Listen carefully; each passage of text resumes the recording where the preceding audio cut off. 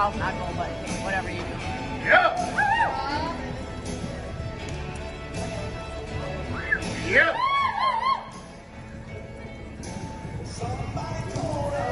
Fifteen, nine,